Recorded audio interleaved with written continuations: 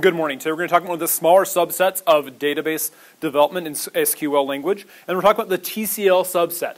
So TCL, we're talking about the basics for that. So TCL stands for Transaction Control Language, and this is the subset that defines permanency. This says, hey, how long do you want that data to stick around inside your database? Because when we run a database, the data actually doesn't stay in there until we're ready to actually commit, um, make that finalization on it, because otherwise we could just run all these things on there, run all the commands, and we just wipe it all if we really want to. We never do, but we could.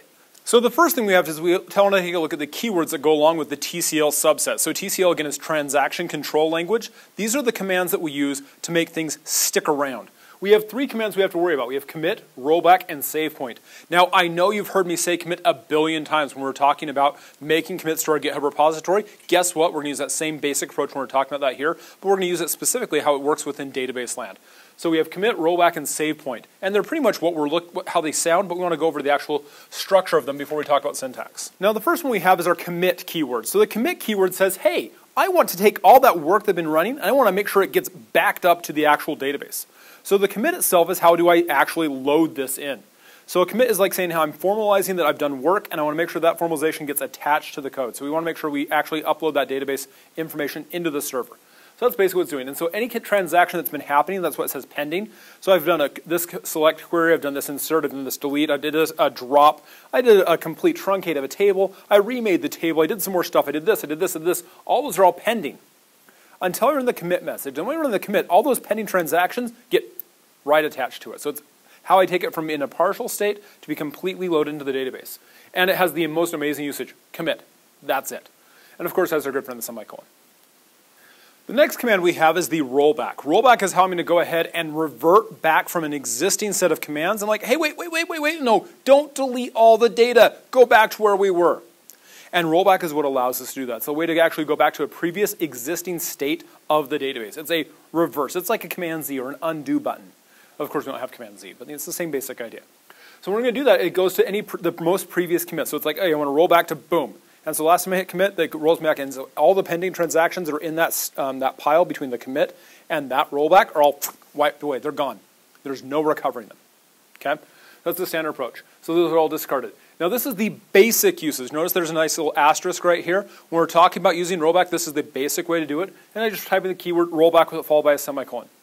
When I type in that command, it automatically wipes any of the existing pending transactions, wipes them all out, and goes to the previous commit. And we're boom, we're back to that point. Now that's the standard approach for this. Now the third keyword is save point. Save point is how I can actually do a little partial bit of a thing. It's like I want to do a step-by-step -step thing. Now, save point is a really good policy to do, especially when you're making some major changes, or you want to keep track of what's actually happening for that. And a save point is saying, hey, I want to save this right here and give it a name of it. I'm like, I'm stopping this point. Um, a great example of this is talking about when you're doing save in a video game because, oh, I want to make my progress, but I want to stop right here in case I need to go back and screw something up. I have to go back and fix it. That's what save points are. Just like a save point in a video game, it's I might need to go back, so here I'm going to name the spot right here so I can go back to it. The power of a save point is I can actually roll back to that specified component.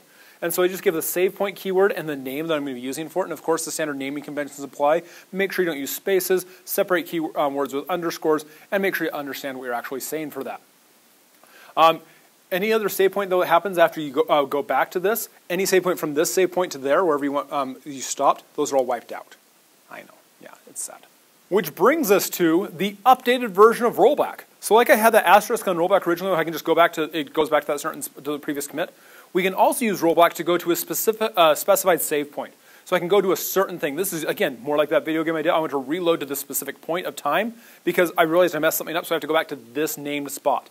And rollback to is what allows me to do that. So it's rollback to, and then whatever save point name I have is the usage on that. So all I have to do is I can go back to that and I can go to that specific point.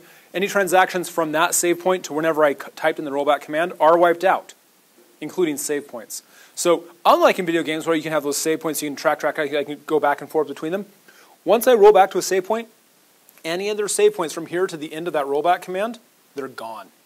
So it's very important that when you're doing a rollback to, that you actually specify to the right spot. Otherwise, you have to re-enter all that data all over again. And so the TCL or transaction control language is how you can actually make sure that you guarantee your data gets permanently adapted to your database in the most appropriate fashion. So again, you want to make sure you keep track of those things. Again, the keywords are commit, save point, and rollback. And you use them to make sure you can re, um, either save the data to the database reverse uh, to a previous uh, uh, spot, or get a, a named save spot so you can go back and make any changes as you need to after that point. But that's the basic structure for that and how we can use the transaction control language subset of the SQL language. Thanks again and have a great day.